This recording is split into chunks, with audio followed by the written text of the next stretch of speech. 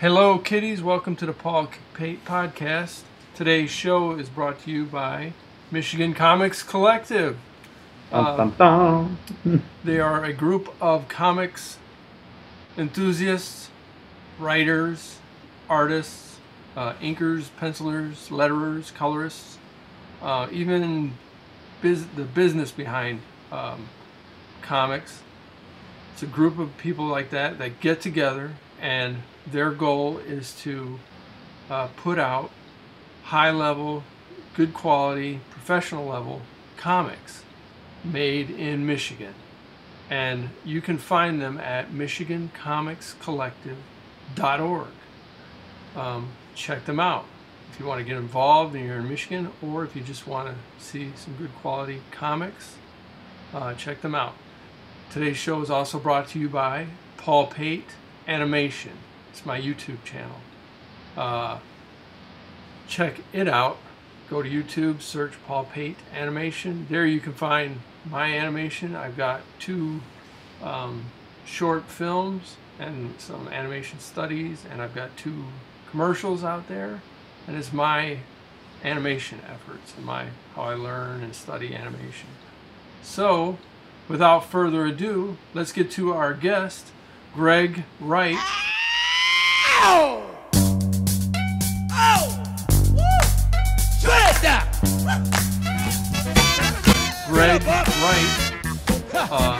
Greg, tell us about yourself. Okay. Hot Oh, seat. right. Yeah. Welcome Well, to the there we go. podcast, by the way. Greg. What's, what's that? Welcome to the podcast. Well, thank you very much, and thank you very much for having me. I'm really excited to be here, and um, yeah. So I uh, I'm an assistant professor by day at Davenport University. I teach English and communications, and I also you know by night, which I, actually is probably during the day as well, but. Uh, you know, just to, to make it sound romantic, by, by night I, I write comics, including the recently released Wild Bullets from the Michigan Comics Collective, and uh, I'm really really excited about how this turned out. It's just a it's a gorgeous book, and um, I'm really happy to be working with such wonderful, high quality, high caliber, professional, talented people.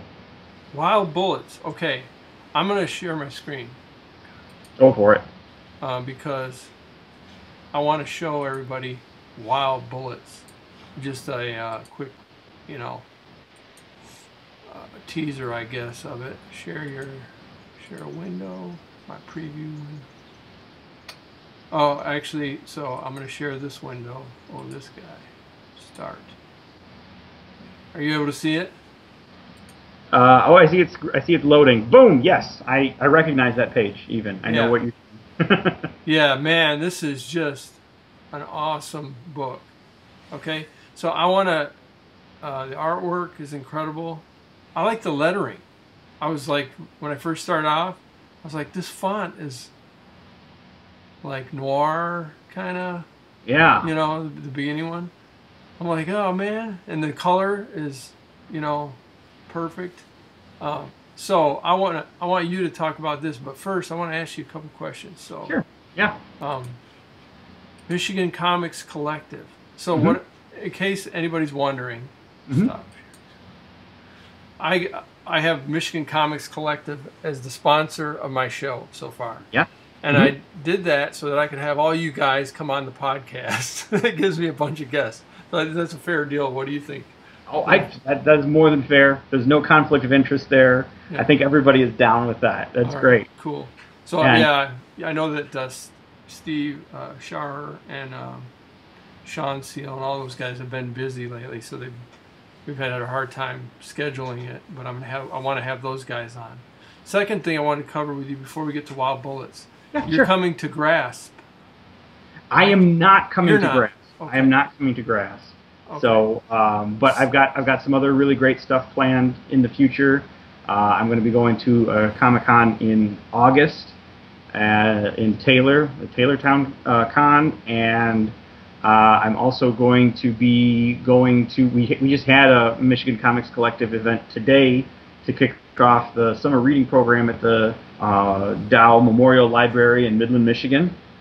Then next month we've got a we've got an event with uh, the Great Lakes Loons we're going to be Oh. doing a sketch table at their Star Wars night, so that should be a lot of fun and Dude. help get the word out about Michigan Comics Collective and everything, and offering That's- free sketches for family members and stuff. So that's Saturday, uh, July 18th. Uh, so if anybody is in the Midland area, eh, come on down to the game, and it should be a great time. Their Star Wars night is always a lot of fun, but it's got the added bonus of people can come in and get free sketches for their families, for their kids, for themselves, whatever. And uh, hopefully, it'll be a good way for us to go out and get to meet a lot of people and get the word out about the great stuff we're doing. Okay. Um, is anybody? But there are some guys from Michigan Comics Collective coming to Grand Rapids area. I know for sure that, that Travis McIntyre is coming to Grass. Okay. Uh, and I think some other folks are as well. I'm not sure which ones, so I don't want to speak out of turn. Okay, I had Travis on the podcast, I should say. And Oh, yeah, was- yeah. Wow, man, that guy's. Speaking of like the business of comics, that guy's knowledgeable. You know, I, I had fun listening Definitely. listening to him. You know, talk about. I mean, he knows. You know, he he's a writer as well. But Yeah. um, okay, so last thing, and this is for Wild Bullets. I went to uh, um, DriveThru Comics. I bought Wild Bullet. You were like, you offered me a, a review copy, and I'm like, well, I don't feel like waiting for the email, so I can pay a buck ninety nine, okay, and uh, get it from DriveThru Comics. Look it up, Wild Bullets, right? And that's a great deal to me. Oh, it, it, is- it is a good deal. It is a good deal because a, a lot of comics uh, they're charging more and you get fewer pages. This is a solid 35 pages plus the cover and additional materials. And if you get it in print, that's five bucks, which is again the price that you pay for about a 20-page comic. Five bucks. And uh, you know, a dollar ninety-nine to get it digitally. And we've actually got a new deal right now that I can give you the link for, Paul. Okay. Uh, where if you buy Wild Bullets for $1.99, you can get the Michigan Comics Collective's Volume 1, their first anthology, which we put out last fall. So Okay. that's like, for the price of just $1.99, people can get over 200 pages of comics altogether. Uh, Crap, I already bought it. I'm sorry, I'm sorry. Oh man, Uh, and I didn't show you my other screen, but I've had, and so it's 39 pages. I haven't re- had a chance to read it all because I just bought it, you know, the other day, and then, but what you didn't see was behind that window is, um, up the river. I've had that Oh, on yeah. my, I've had that on, and I, that's awesome too. That's a Michigan Comics Collective comic. You guys are, you guys are rocking. Yeah, yeah. It's it's good that we're getting stuff done. Now, now up the river is through Source Point Press. Okay, okay, but all right. I'm sorry. Um, no, that's okay. but it's it's some Michigan Comics Collective people. That that's okay. That's not a conflict, is it? Oh no, no, no, no, no, Okay. no, not at all, not at all. Uh, Travis McIntyre wrote that, and he's one of the founding members of the Michigan Comics Collective. Oh, but you got a different. I got you. And Steve Shar does the pencils and inks on that, and Sean Seal does the colors. So Right. they're all Michigan Comics Collective guys. They're just publishing it through Source Point Press. Right. Awesome. Okay. Anyway, I'm reading that one as well. It's very professional. Yeah, it's a, it's a really dark horror uh, comic. Yeah. Yeah, yeah, which is fun. The thing is, is I bought uh, buck ninety nine DriveThru Comics. I buy the buy your a digital thing. I'm reading it on my computer. I got a big screen here. It's pretty nice, you know. But Mhm. I uh, I want to I want to have the book. I love the paper. Right. Yeah. I meant to bring down here uh, Ken Lamug's book, uh, Ta Tales of Talbot Toluca yeah. Yeah. because that's actually how we met. Even though we're both from Michigan, we met. Right. We were introduced by Ken Lemoog, who lives in Las Vegas, Mhm. and that's my daughter's favorite book, Tales from Oh, it's a Toluca. gor- gorgeous book. It's Gor- so much. Yeah. Do you ha- have Do you have the book, Do I have which book? Tales of Talbot? Yes. Yes, I do. Yes. Mhm. Yeah, uh, yeah. The artwork is incredible. So, same thing with Wild Bullets. I think the artwork is beautiful, and I want to have the book. So when's the book come out? Well, the, the book is out, and Okay. uh, people who are in mid, the mid Michigan area, it's in a number of comic book shops. Uh, Wild Bullets is available at Collector's Corner in Midland, Cashman's Comics in Bay City, and Coy's Comics in Saginaw. Steve Shar, one of the artists, actually owns Coy's Comics Right. in Saginaw. Um, if folks are not in the Mid Michigan uh, area, they can buy copies through the Michigan Comics Collective's PayPal. Uh, they just need to send an email to MichiganComicsCollective.org. Uh, Okay. They and then there's a little bit of additional cost uh, due to the shipping as well as the PayPal fees. Yeah. But uh, you know, we're not we're not making any cash on that. But so it's just that additional those additional fees Right. added to the five dollar price point. It just costs five bucks to get a, a paper copy of, of Wild Bullets. okay. And it really is a, gorgeous, gorgeous book. I'm Yeah. really excited. See, I, my plan is to get one at the Grand Ra- Grasp. yes, they will. You can I'm definitely. going to that, and I want to. Uh, we got stuff going on that weekend, but I'm taking my daughter, and we're gonna go crash it. So nice, nice. yeah, I, I, I look forward to that. Um, so tell us about Wild Bullets. All right, we'll we'll do. Let's dig in. Yeah. So uh, I'm so excited about this. Uh, what Wild Bullets is, is it's a one-shot comic, and it's 35 pages. It tells the story of the Bullet family, and they're all really severely dysfunctional. The Bullet siblings all grew up to become pulp adventurers, and so one became a detective, one became a mad scientist, one's an archaeologist, and one's a monster hunter. Okay, so I, I think Yeah. just based on like what my podcast is about, uh, mostly people that watch or listen is are going to be into comics. I'm telling you, this this book is awesome. You gotta anybody listening, you gotta check it out because I mean the artwork is is solid and the writing is solid and it's just like you when you just described it it's it's like that it's just fun you know every page is like blah wild you know Yeah, there's something crazy going on, and uh, I think the proudest thing is just it's a gorgeous book. Uh, Right. But you know, sometimes when you read an indie book, it's kind of like, oh, I got to overlook this or I got to forgive that. This, the art, there's there's no need for excuses. There's no need for apologies. Uh, Like you're saying, every single page it looks gorgeous. It tells the story well, and you feel like you know who these characters are. Their personalities all pop, and there's there's action going on throughout. So there's there's something for everybody, really. Whatever your interests are, there's some way, there's something in this book for you. You know, it, it'll really, it can hook you no matter what uh, you bring to the Yeah. table in terms of what and you for like. buck 99 take a chance Take a chance, right? That's I couldn't even wait. Buy a burrito, and it doesn't give you gas or anything like that. i don't know i don't know i've been reading it it it may it might it, okay, you know it. That, anyway moving on greg condition.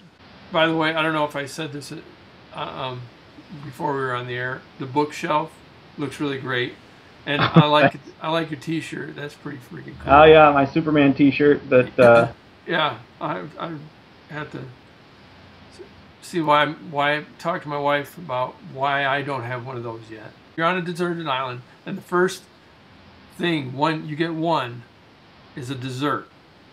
So what is it going to be? I'm going to say baked Alaska because I bet on the deserted island it's going to be hot, so I like the coolness of the ice cream. Plus, I can use the fire that started on the top of the baked Alaska to maybe start a signal fire for myself. Hey, man, that's like multitasking and Yeah, Yeah. yeah. uh, wow, It's got layers to it, really. right. Spoken like a true writer. You know? Yeah. Cool. Okay, one book. One book. That's a tougher one. Um, I'm going to say Infinite Jest by David Foster Wallace. Uh, just because if I'm on the deserted island, I figure I'm going to be there for a long time. And that book has got a lot of reread value to it. It's a huge, thick book. I don't know, it's on my shelf It's somewhere. going but- to the shelf, folks. yeah, I'm, I'm not going to grab it just because um, I don't know where it is. But uh, it's it's it's a fun book. It's a goofy book, uh, and it has so many footnotes at the end that you need to use two bookmarks to read this book, uh, so that you can flip back to where Is the it, footnotes is are. it, it's fiction?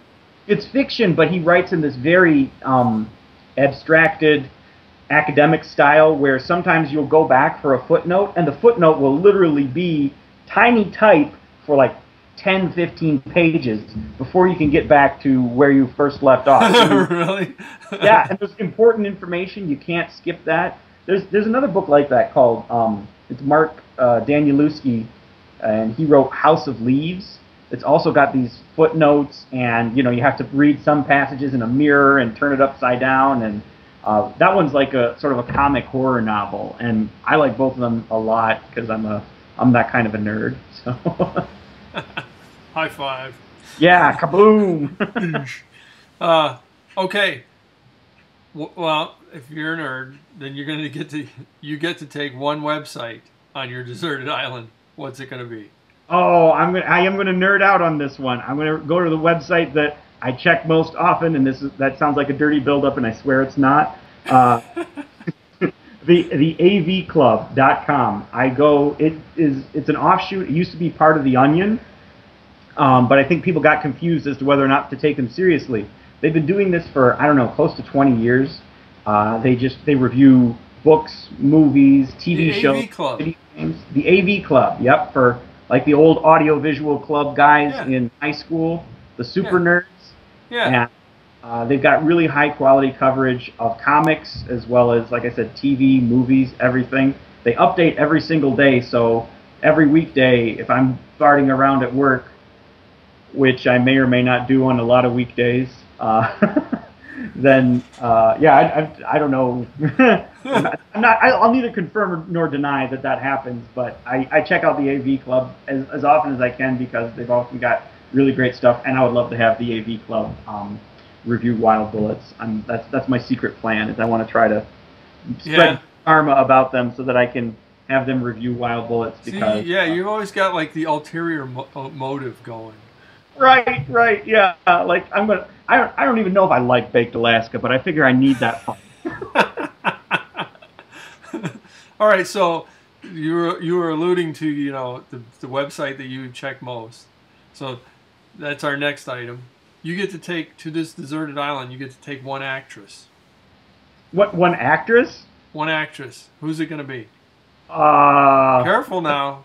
yeah, I'm gonna get myself into trouble with this one. I've made jokes about this before. I'm gonna take Scarlett Johansson. I'll I'll take Scarlett Johansson with me. Uh, because she's so kick-ass as Black Widow, I figure she can probably rescue me better than anybody else. But right. Also, Yeah. I made this uh, I made this slightly inappropriate tweet, and uh, it's out there now. And uh, it's it's sort of like uh, I wonder if Scarlett Johansson ever fantasizes about fat comic book nerds, or is that just a one-way street? So, You're not the first person on the podcast to pick Scarlett Johansson. oh man, I'm unoriginal. What can I say? No, no, no. I mean, I think that says a lot about Scarlett, Yeah, it might say more about her. Yeah. or the fact that she played Black Widow.